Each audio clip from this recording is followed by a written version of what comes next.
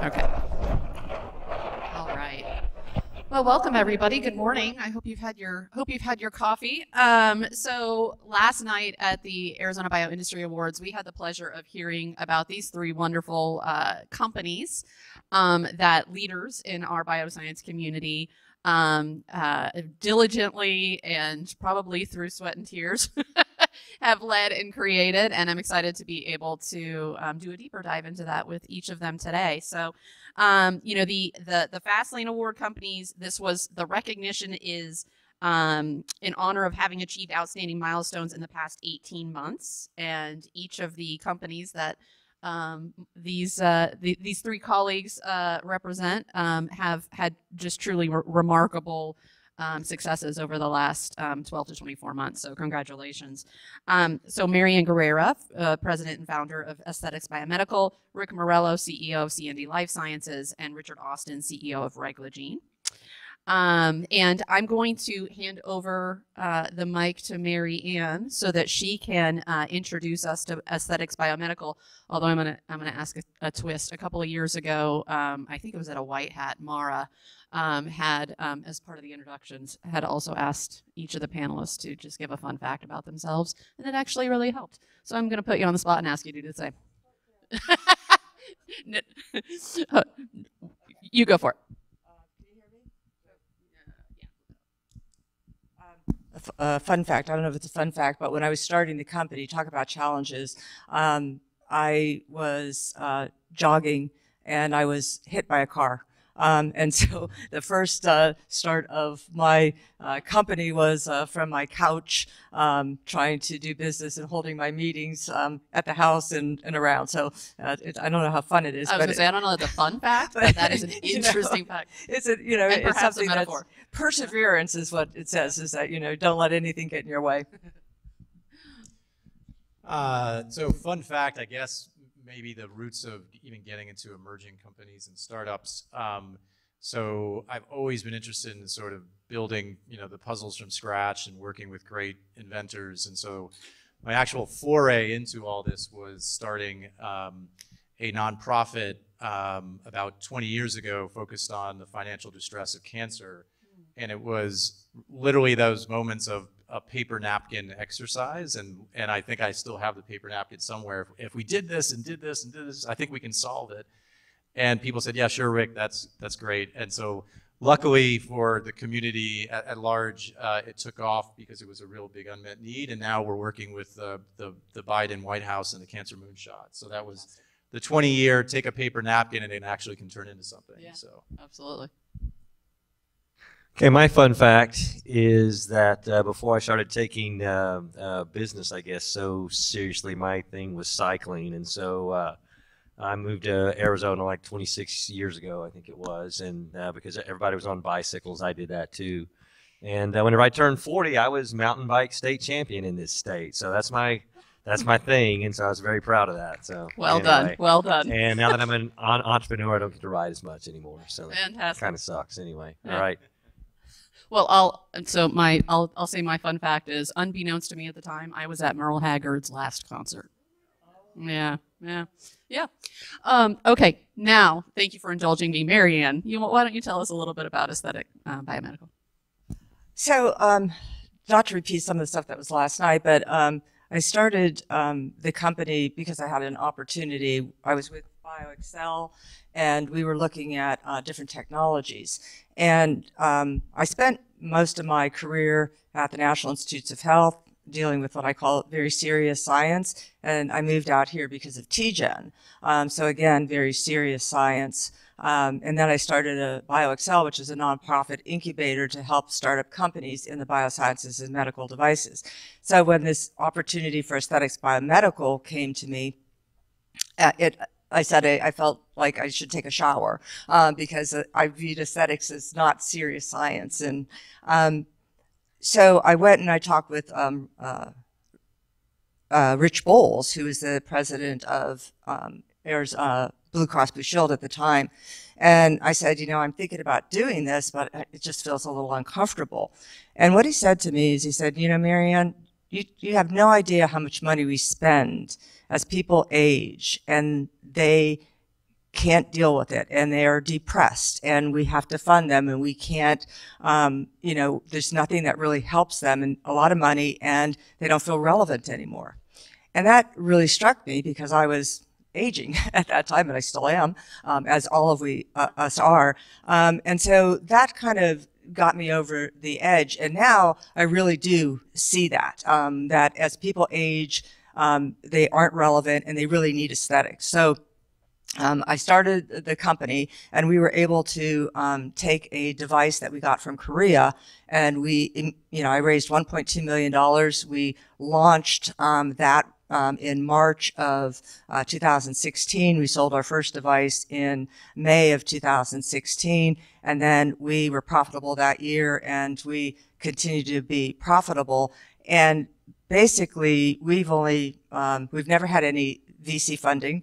Um, we've done it all um, on our revenue that we got from selling and our consumables, and um, it's not been easy. It's been very, very tough. Um, uh, to to do that. And um, I wouldn't recommend it. I'd recommend that you get investments. um, but we have, um, since we started, um, actually created two products. Uh, one is uh, Somi Skincare, which is a product that um, 22 natural ingredients, and you put platelet-rich plasma from an individual into the serum, and it keeps those platelets in their natural state for up to 120 days.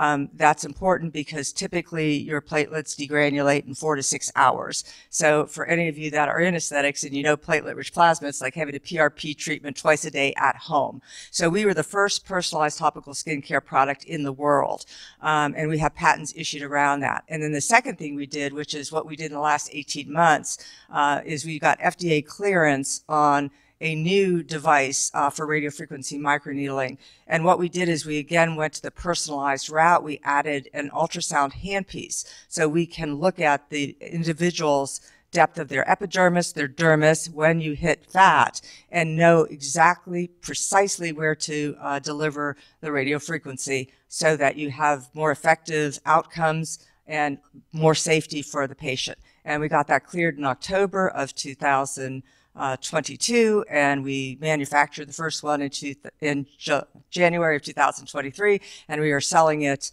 um, here now, and all of it has been done SOMI and uh, the Vivace Ultra with Vision Handpiece here in Arizona, um, nowhere outside of Arizona. That's, that's just tremendous. Thank you, MaryAnn.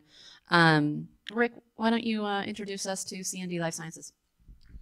Yeah, so thanks. So the, I think the, the, the real uh, allure for me and what CND's mission set out to do was really the, the, the, the innovation of three neurologist founders that, that have been studying neurodegenerative diseases for you know, their entire careers. Two, Doctors Roy Freeman and Gibbons at, at Harvard at the Beth Israel, and then locally, Dr. Todd Levine at Honor Health. And so I had uh, met them several years ago as they were kicking around the notion that obviously in this next decade, we hope to see the breakthroughs both in diagnostics and therapeutics for diseases like Alzheimer's and Parkinson's and Lewy body dementia and so on. But we're not going to be able to get there unless there are convenient and accurate ways to actually diagnose these diseases, understand that they're not singular diseases, they're probably subtypes just like we see in oncology. And we need to be able to find ways to detect early because if the drugs are going to work in the future, we need to catch these diseases before the sort of that you know neuronal uh, pathway leads to you know nerve death. So they came to me and said, we are pretty sure, based on a decade of research, that we can find the proteins that are the culprit of these diseases just a few millimeters beneath the surface of our skin. And to be able to look inside the dermal nerves and see that we can effectively light up the protein, in this case alpha synuclein, in the misfolded form, and be able to offer this in a 15 minute skin biopsy procedure in a neurologist's office and, and in the future, maybe in a primary care physician's office.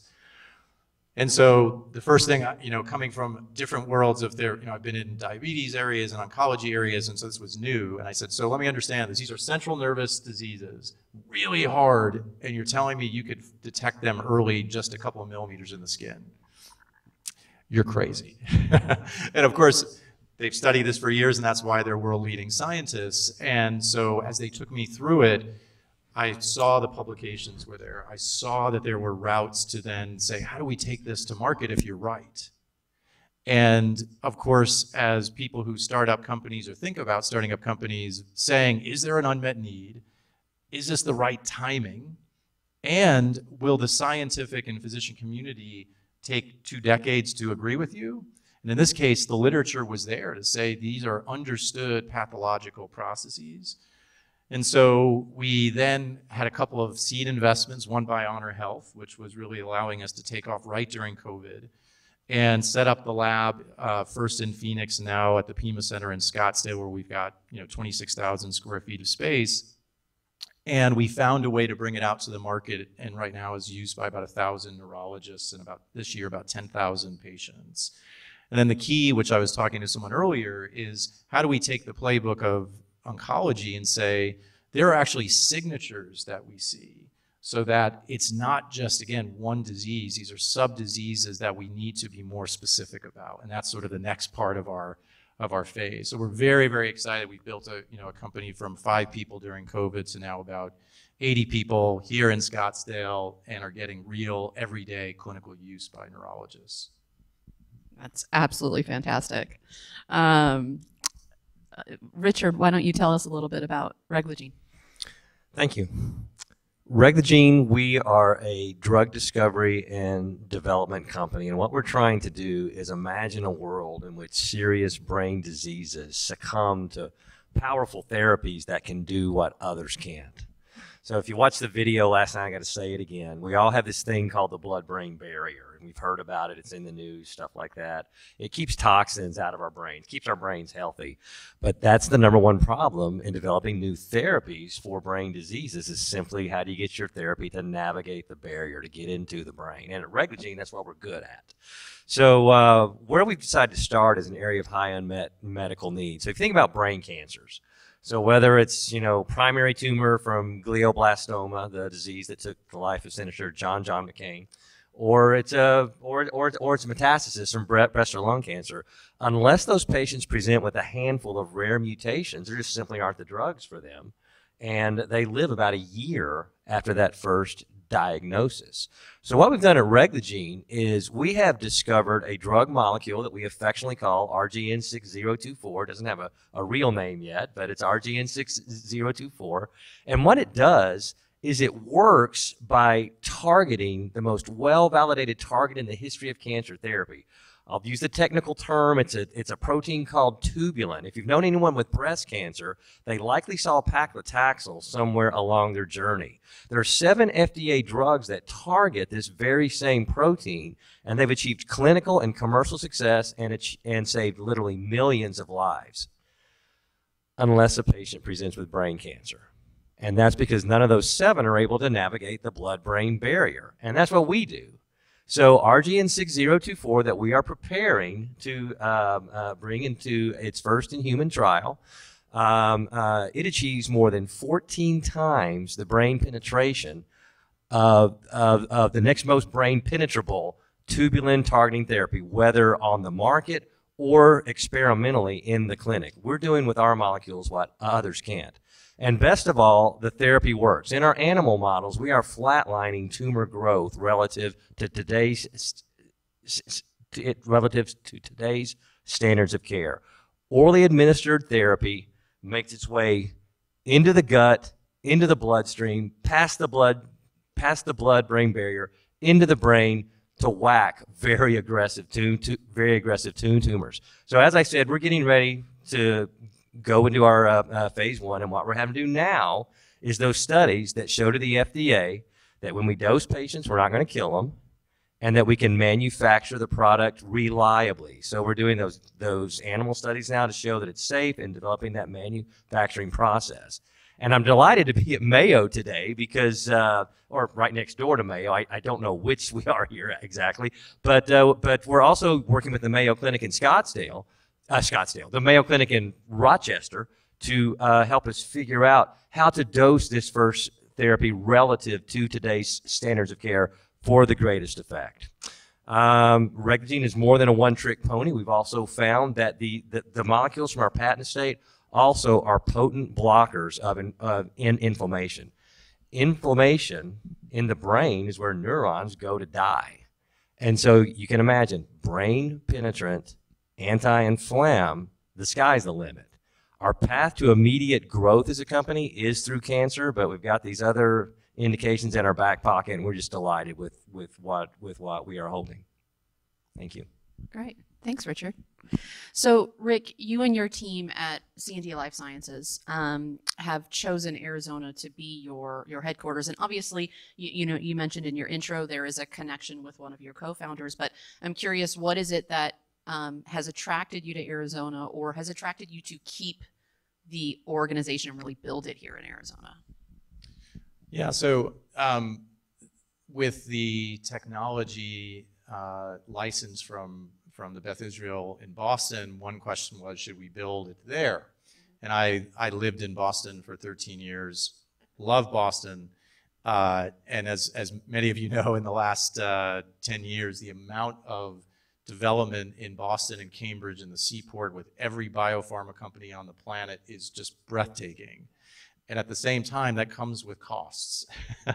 the competition for talent, the price of real estate. Um, as an example, the ability to go get you know, sort of similar lab space in, in that geography was literally three times the cost as it was to go here in you know, the greater Phoenix Scottsdale area. And then we said, what other anchors can we rely on here? And they were great ones. I mean, obviously institutions like Honor Health, um, a history of strong diagnostic companies here. Um, if we are going to recruit uh, everything from laboratory technicians to quality engineers to others, we had pools of people who were incredibly excited to come meet with us, even when we were this you know little engine that could in some lab that looked like a makeshift dental office. Like, I mean, they, they said, we're super excited to be part of this mission, and they brought experience from great places here.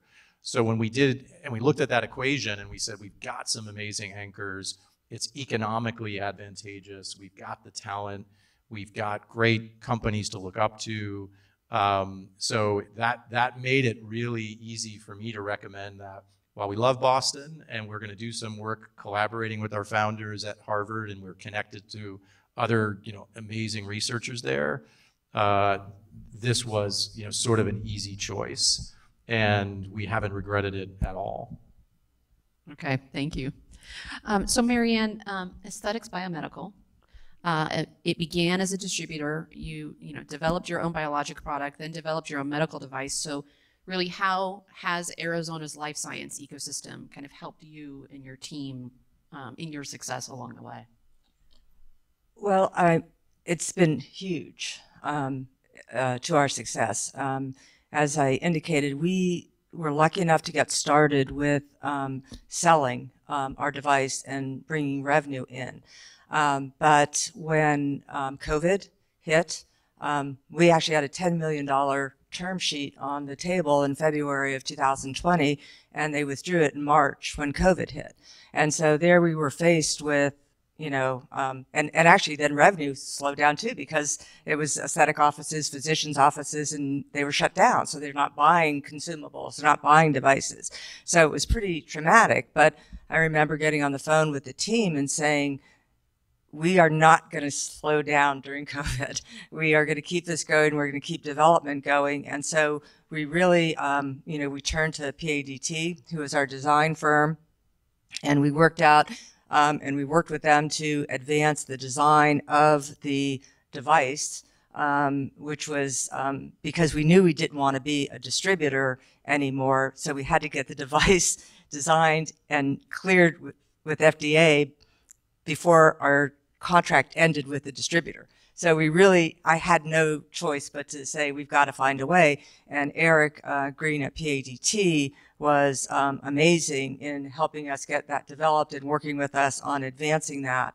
Um, and so that has been huge. And actually, you know, we're on payment plans because he's worked with us to do that.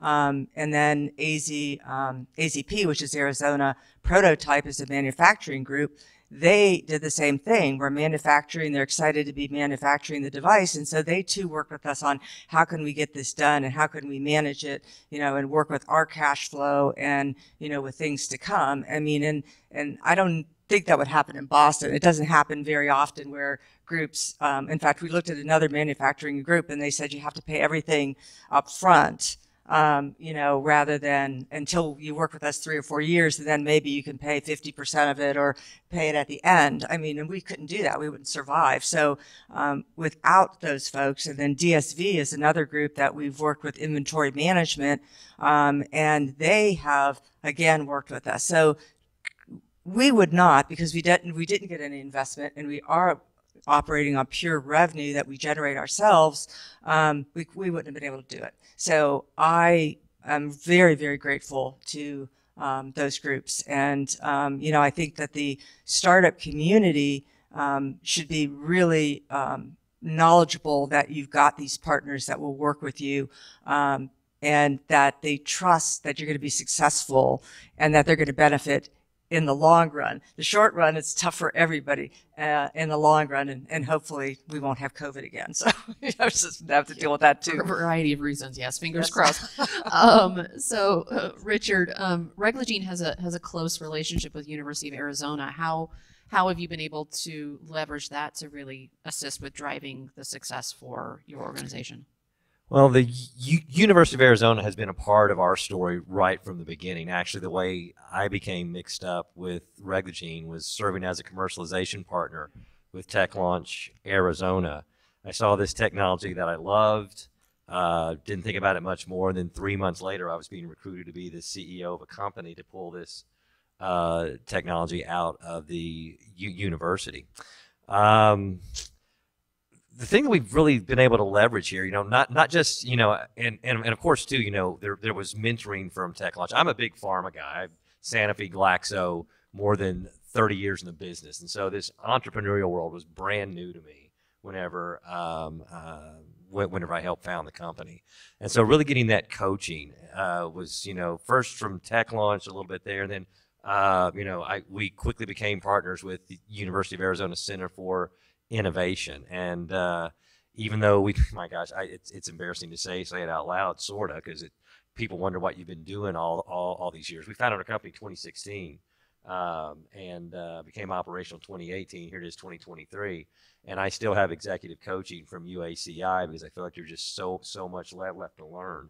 Um, so uh, uh, one thing that we do that uh, was brought out on the video last night that's really been crucial for us is the way we leverage university resources to keep our costs down. So we have our lab bays on campus, and I want to be abundantly clear: we're paying market rates, but those market rates are at the university are much less than market rates anywhere else. I would, uh, if you want to catch me after and hear, and let me just tell, let me just tell tell you the numbers. I don't want to say it out loud, but I mean it'll knock your socks off for for for how little you have to pay to that anybody has access to to have access to world class labs, world class equipment, world class people. And it's a relationship where we work with each other. Um, I'm putting drug industry professionals on campus, and the university loves that because they have faculty that they want to encourage to be entrepreneurs, and they're working side by side, well, side by side, next set of lab bays over, you know, with, with the people on our team and uh, and the and the university looks at us as sort of a good influence, you might might say, on them. So I, I tell you, whenever we need something, you know, even remotely special, like access to a piece of equipment, can you write the program for this liquid handler for us right now? Um, uh, they do it for us because you know we take care of each other, and so it's just been a beautiful relationship. I just hope it runs for a while more because we still need them and um, and and two, you know, just to sort of contrast our our you know our story, we are a drug discovery and development company.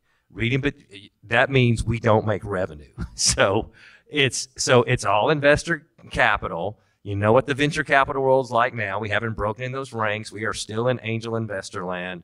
IND enablement starting to cost us some money, and so we have to watch our pennies every day. And the university helps us to do that. And again, it's a deal anyone can get. You just got to go looking for it. So anyway, yeah. Thank you for that.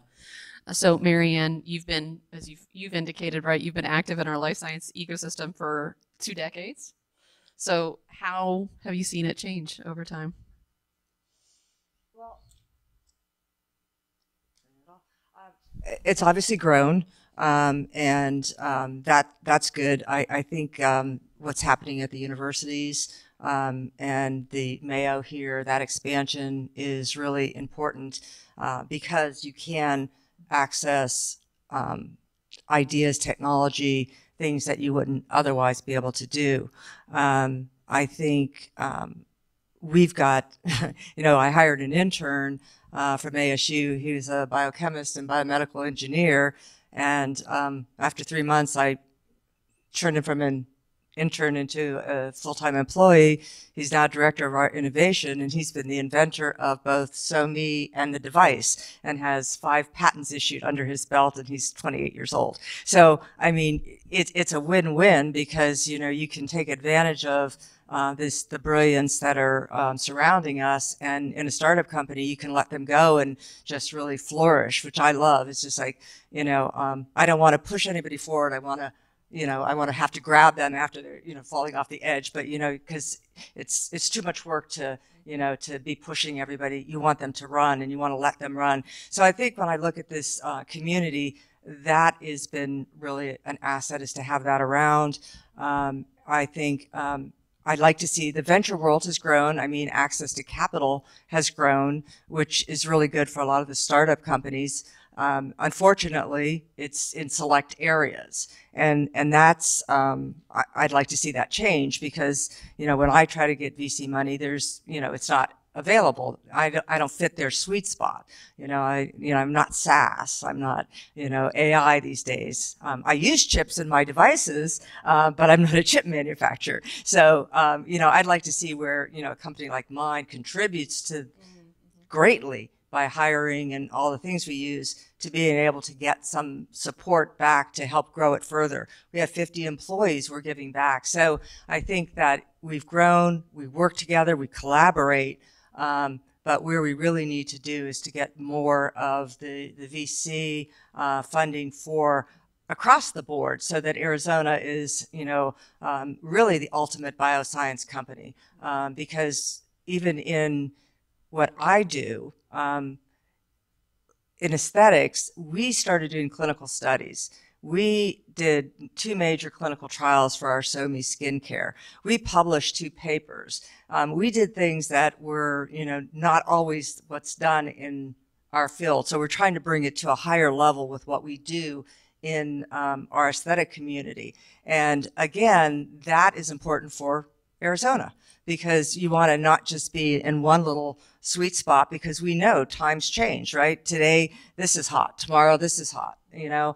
Um, and then again, you want to be able to, um, you know, build that so that if we're successful, we can give back to other companies that need to have investment. So um, I, I think that we've come a long way, but I, but I really feel we can't sit on our laurels and say, you know, we're we're there. We've accomplished it. Um, so let's toot our horn, but let's be realistic that there's still a long way to go. And I know Joan wants to double, um, you know, what we're putting into the biosciences, and you know, um, I think that we we need to do that, but we need to make sure we're doing it where we're supporting the companies once they get started.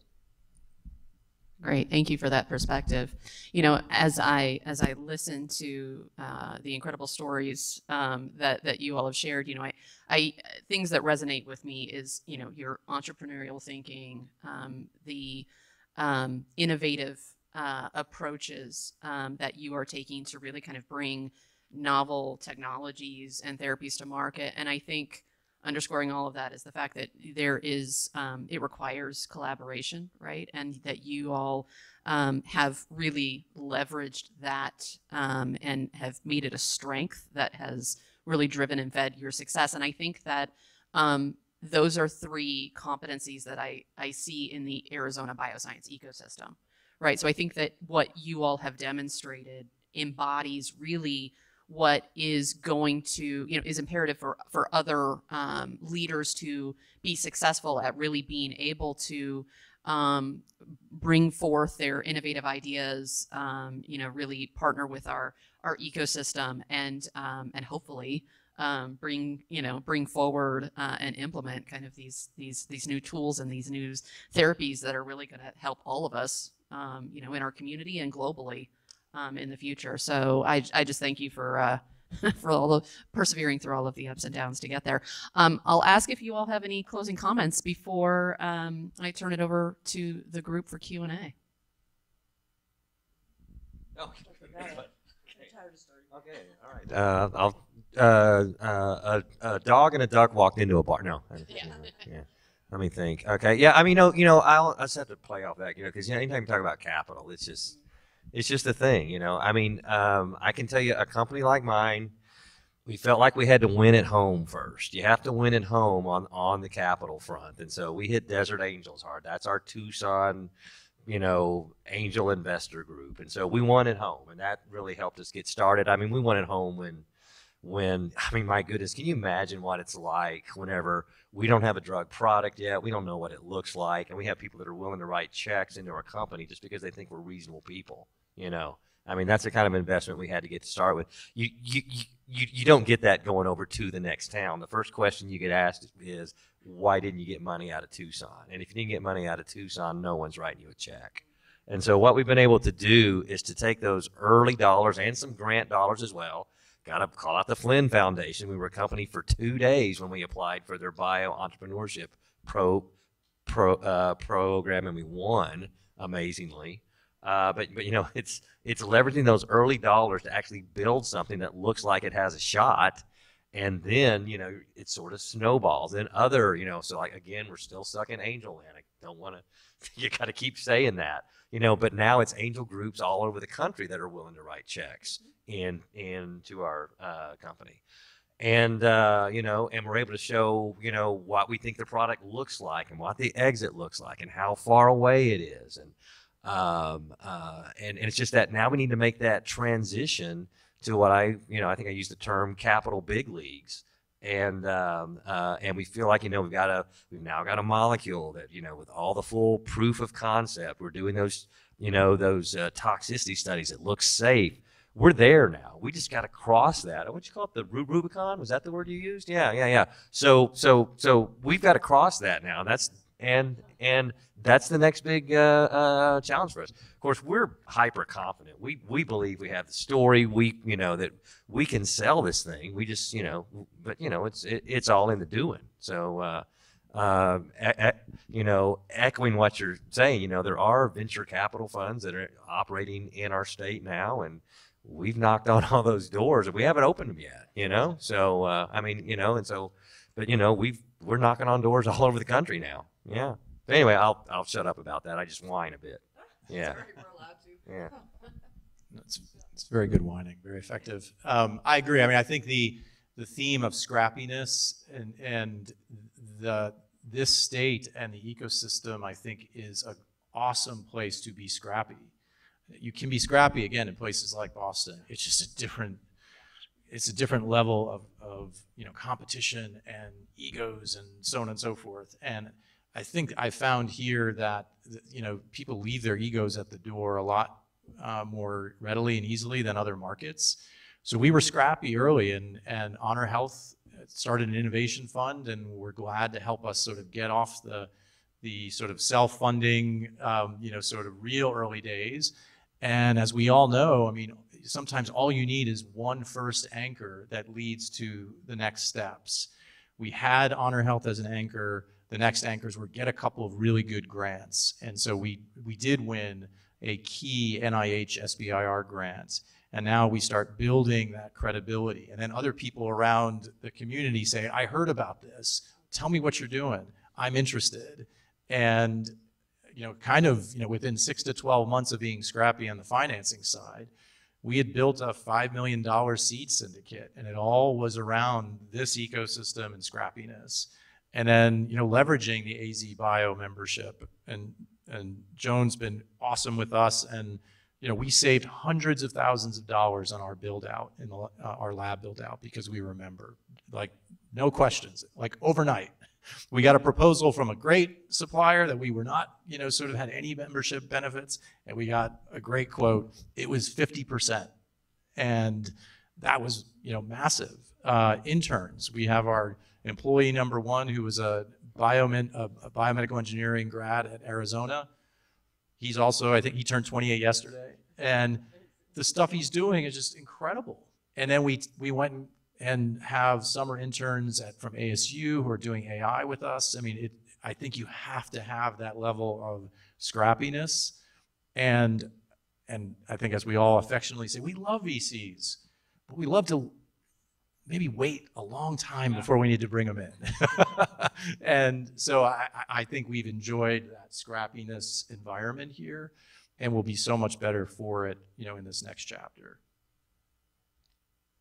Scrappy is good. I, I think because you really leverage and you learn and you're creative. And, and so we, we've been scrappy and I think that that's good. Um, I'm really pro economic development. I mean, so part of what we're doing here is advancing the biosciences, but we are advancing the community. Um, and I worry that, you know, um, that if we don't have the kind of investment, we either don't get great companies off the ground and then really fully benefit the community, um, or you know we we don't grow as fast as we can. Um, and so that for me is like I look at my my life today. If I had that ten million dollars, if I had funding, I could you know triple manufacturing. I could triple sales, and I could do that. And I can't do that now. So, you know, I'll do it eventually, but this community could benefit a whole lot faster if we could get some of the resources to advance us faster. You know, I like, I love slogging along, you know, I'm, I'm good at it, you know, but I'd prefer, you know, at some point where, you know, you don't have to do that, where you could really turn on the gas and, and show this community what can be done and keep people here not moving out of the community um, because um, we can't, um, you know, we've got to go to California to get money or we've got to do something else. So anyway, I love the community. I want to thank everybody who has been a supporter. Joan, I've, Joan and I have known each other from day one, I think. And um, if it wasn't for this community, um, we wouldn't be here. And I and I'm very very grateful for that. So thank you all. Yeah, absolutely. It was interesting. I, I attended the um, the health innovation economy um, session yesterday, and um, you know, it, it, there was there was obviously quite a quite a bit of discussion around the investment that has been made um, in really kind of bringing forth innovative um, healthcare solutions. And um, you know, if you take a step back and, and take a look at it, um, and you know, uh, a large uh, you know byproduct of AZBio's success over the last 20 years there has been substantial capital investment in the infrastructure side of what is needed so that our companies can be successful. And Kieran, um, who's an AZBio board member, actually, I, I, I wrote down his um, his comment because he said we need the complementary capital in the or in the for the organization. So because if someone's just looking at the investment and the dollars that have been made, they may say, why do we, you know, uh, uh, naively say, why do we, why do we need more capital coming into the state? Exactly. It's a nice building. It's a, that, you know, if they build it, they will come and it's okay. Well, they built it. Now we need them to stay. And so there's so much, there's so many technologies and great companies. And, you know, Richard, I think Reglagene is a perfect example of it. I mean, there's, they're, they're, companies are going to go where they have the opportunity to be successful. And we've got you know we're, we're we've got the infrastructure um, now um, and more is coming um, uh, in order to support that. But we need to be able to have the funding to keep just tremendous organizations like yours healthy and growing in the state of arizona. Yeah all right. I will open uh, the floor for q&a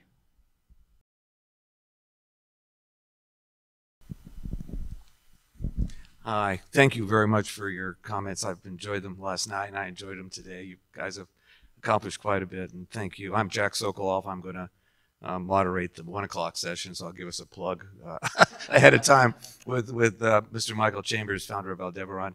I, I've invested in and quite frankly supported many companies very similar to all of yours. And as far as the aesthetics goes, it's a wonderful area to be in. Your challenge is manufacturing and distribution and that's that's where your capital is going. Um, and quite candidly, it was very impressive to see what, what you've accomplished given the challenges of, of R&D in that area. One of the things I was going to comment to everyone on is that the IPO market is totally constipated, which means the, P, the PE and VC markets are also constipated, which means that strategic aggregation and strategic partnerships are becoming dramatically more important. And for the first time in my career, I'm seeing 10, 20 billion dollar strategic aggregation financing solutions. We saw this in the physician practice management industry just this year alone with the Summit, Cigna, Village, MD aggregation. I think last year we had Jeff LaBenger here in our Bench to Billions series, and that 1.6 billion dollar PE um, um, uh, purchase peaked out at 9.8 billion earlier this year, and is part of a 25 billion dollar private company. So to cut to the chase, um, have you guys looked at any types of strategic aggregation capital from individuals that could be significantly both partners and beneficial financiers for the next stage of what you wish to do? We have. We're engaging in uh, quite a bit of that. We've got uh, and two sides of it. One is um, on like the SOMI side, where it's um, more on the skincare. Um, also, you know, uh, another factor. Our product is amazing for like wound healing, right? Now we can't even go down that path because we don't have the resources for that. So we're looking at are there other groups that might be able to use that and you know that would be see the benefit of that so um, and other big uh, aesthetic companies you know how could we partner um, we have dialogues with that how can we do investing one of the things you have to worry about i think is if you get investment from a strategic partner, then they sometimes want to have the right of first refusal. Then that keeps you from being able to potentially interact with others. So there's a lot of navigation um, that you have to do with that. Um, but we are, I would say, in active discussions with a lot of that because we have to. Um, you know, I, my preference would be is like if we could raise two to three million now, roll out that manufacturing, then we really can leverage that. You know, we're at that tipping point. So, um, you know, but we are pursuing all of our different options. But if you have any ideas or any things, I would love love it because, you know, you talk about risk, and we were talking at breakfast, is that, you know, nobody wants to fund you because of risk, right? Well, there is no risk. We've got the FDA clearance. We've got manufacturing down. We've got it in sales. We've selling it in Europe. Um, what risk is there? Now, all you need to do is get, we need funding to hit it out of the ballpark. So, you know, um, but any thoughts you have on outside of just, you know, investing, that'd be super. I'd love it. One of the key issues you'll have to make the decision about is whether you're going to go for professional level distribution on the medical side or whether you're going for pure aesthetic distribution on the commercial side because you really can't do both easily. So that's just one piece of small advice. I- Yeah, we learned that on both having a, a topical skincare and device. It's, it's too broad.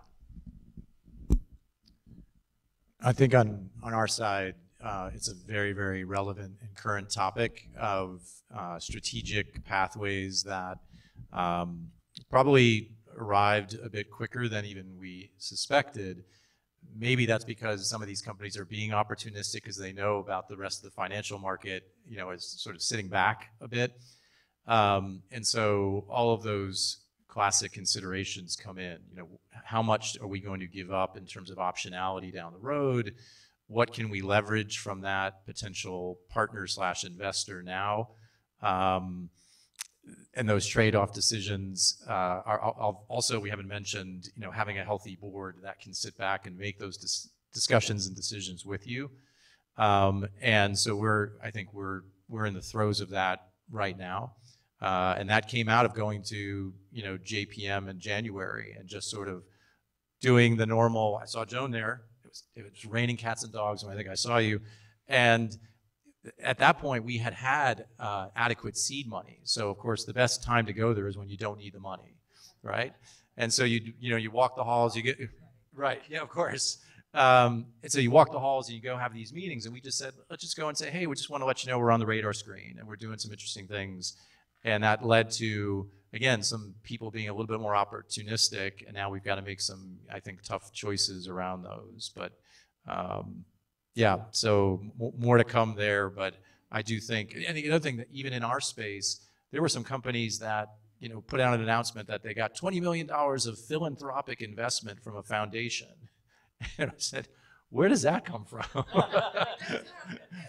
right? Was that was was that like God or what? What happened there? Like so. Um, but I think you have to be creative right now. So. I'll, I'll, you want me to take that? Oh, yeah, sure. Thanks. Uh, yeah. So for us, uh, again, we're a therapeutics discovery and development company. You know, I because I made the offhanded comment that we don't make revenue. That's you know, a company like ours, we'd love to exit before we ever, you know, once we show a human proof proof of concept. Um, so uh, uh, those strategic partnerships, when you're in discovery, still trying to figure out your molecule no one wants to do a strategic partnership with you yet because you really don't have anything that that you're saying is the one. So we just crossed that actually in January. And uh, where we are today is with those partnerships, we've got the bargain hunters we're talking to, the people who want to get your asset on the cheap. And uh, they're not ones who can make us happy or anything like that. Uh, the bigger players, uh, just to, to go into um, uh, drug development speak, is uh, you know they want to see the um, uh, two species tox work that you have to do for your IND, and that's that's the work we're doing now. We'll have it largely completed before we go to J.P. Morgan, and we'll be rolling it out and hitting it hard, seeing if we can win that. I, and I can tell you too, someone talked talked about their board. My board is banging on me hard to get a partnership. So you know it's it's absolutely right what what you're saying, at least at least in the world I live in. All right, you. I've heard J.P. Morgan twice in the last minute. So, J.P. Morgan, for those of you that you know do go to J.P. Morgan in January, um, AZBio has now hosted for the last decade um, a opening cocktail reception at J.P. Morgan on that Sunday night, and during that cocktail reception, we partner with other state bios, and we're now partnering with Massachusetts, Virginia, Biocom in San Diego, um, Bio New Jersey, and others, and Bio Michigan. And so, what that does is it's bringing together life science innovators and life science investors from multiple markets, all as we're getting ready to start off with JP Morgan. So um, AZ, you all get the AZ Bio in the loop. Um, if you're going to JP Morgan, start watching because the invitation will start being posted there. And um, it is by invitation only. So reach out to us and you can join me and Richard and Rick at JP Morgan. All right, big round of applause for our panel.